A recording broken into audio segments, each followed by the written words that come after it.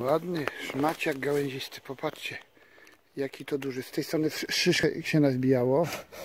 Szyszki są. No to, to jest, tego nie wyjmę. Nie, ale tu, tu, dobra, w porządku. Tak, dobra, w porządku. Ładny okaz szmaciaka gałęzistego. Musimy go podzielić, bo inaczej się nie chce zmieścić do torby. No, ale my mamy już teraz, jak go włożymy do tor- torby, to już nie będziemy mieli więcej miejsca. Proszę, jaki fajny egzemplarz. Teraz możesz tą ziemię poobcinać. No kruchy, kruchy, kruchy. Dziękuję bardzo.